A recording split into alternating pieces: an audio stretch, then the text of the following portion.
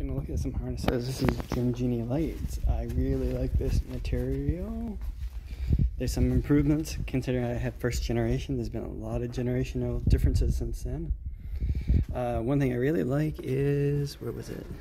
Oh, the this belly strap. It's got these nice markings on it, so it gives you a visual cue. They look a little bit more than a centimeter. Maybe they're two centimeters a piece, but it's really nice. It's a visual cue that I think everybody should do. Another really great feature on this flight deck is I think on the cockpit you got your integrated hook knife right in front and even got word hook knife written on it. I got to put it in backwards.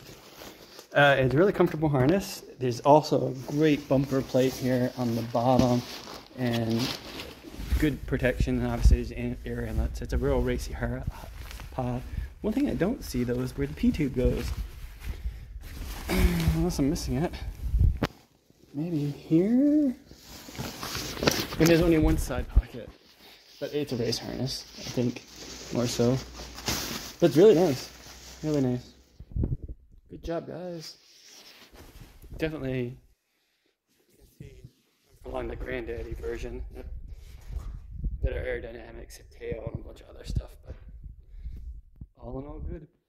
Bench. One of the downsides of only this one is that rear pocket's not that big, so like for Vol-biv, it's really not an option. It's the whole reason why I'm upgrading my pod harness anyways, because not enough cargo space for all my crap. But other than that, I mean, if you're on a, I mean, this harness is designed for racing and comfort. It's a Cadillac, not an RV.